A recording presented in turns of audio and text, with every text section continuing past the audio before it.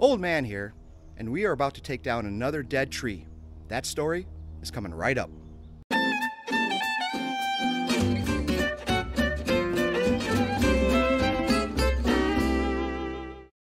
We've got another dead tree removal here, except it's not on my property. My house is right over there. I'm actually on my neighbor's property, and we've got a nice big old dead tree. Check this out. Way up there, way up there. And just like the other two trees we took down, half of the branches are missing up at the top. And if I had to put a height on this, we're probably looking at about 50 feet with a base of about 18 to 24 inches. All we are going to do here is drop it into my property over here, and then we're gonna cut it up into fairly large pieces, and we're gonna kind of try to move them over to help uh, distribute some water that keeps flooding into this area here, just to kind of divert it back to the back of the property. I am going to do a traditional cut on this. Uh, the Humboldt cuts uh, that I've been doing uh, I still need some practice on. Uh, I don't see a lot of moss or anything growing on it, but you can tell just by looking at the top that the trees and the limbs on it, it's got vines growing on it, so it's, it's definitely dying off. Clear some of this out. Gonna get the wedges out here just in case. Meantime, let's get this bad boy up and running. This is almost a down and dirty quick dead tree removal, except it's on my neighbor's uh, property. So we're just gonna call it a down and dirty dead tree removal. Not necessarily quick.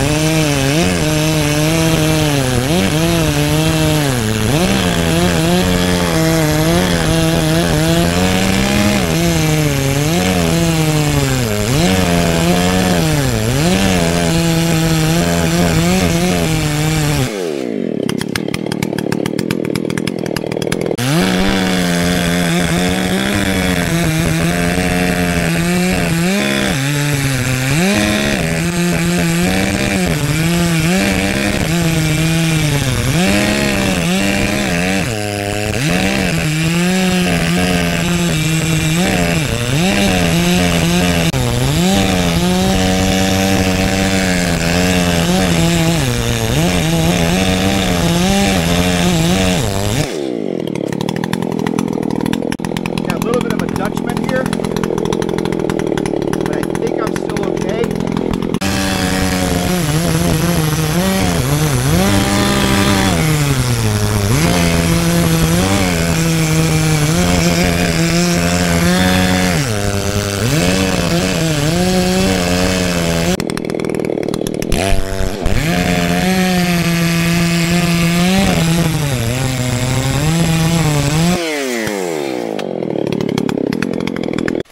got a really nice cut here. And you can see got a nice big open face here. The back cut's really nice, it's clean. We've got a little bit of a Dutchman over here. So you might get a little bit of twisting. It's about an inch. I don't want to go too much farther back because I'm already halfway through on this side. So we're just gonna leave it like it is. I'm gonna start my back cut. Once I get in, we'll leave a little bit of the hinge there. I'll probably put in some wedges and then uh, we'll try to wedge it to get it to fall. If not, I'll cut the, uh, the hinge out a little more. It should drop almost right on top of this little tree here. And uh, my neighbor doesn't mind if that one comes down. So this is a pretty healthy tree to be quite honest at the bottom here. It's just dead from the top and then that'll start seeping down towards the bottom. This is gonna be something else. All right.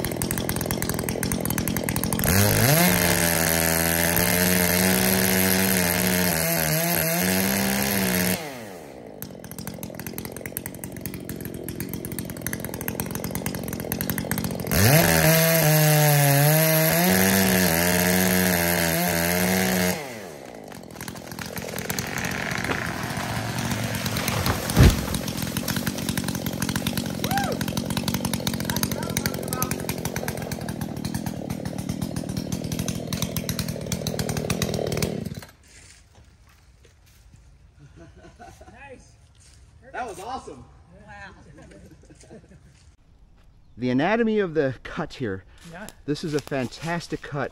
Okay. The hinge is a little bit high, the, the back cut, okay. a couple of inches, but it's even all the way across here. We got the holding members here and perfect third of the way through, you know, one, two, maybe a little more, maybe 40%. Mm -hmm. And then the back, back cut was nice and smooth. And after some more consideration, we have decided that we are just going to leave the tree right where it is because it actually is going to work out as a natural dike for the water that comes down through here. So check it out. So when it rains really heavily in this area, the water comes down in here. And what used to happen is it would just come through and then go over to my neighbor's yard and start flooding his yard over there. But now we have a natural barrier here so what should happen is the water is going to come off uh, up through the center here. It's going to hit here and then we still have a slope going that way and it should divert the water right underneath the tree there. It's almost perfect. And then the water should flow all the way back uh, normally. So the last thing for me to do is I'm going to cut this up straight. We're going to leave the stump here. There's nothing to do on it. We're going to wrap this one up, call it a day. We're going to move on to the next tree. So until next time, ladies and gentlemen, Peace out.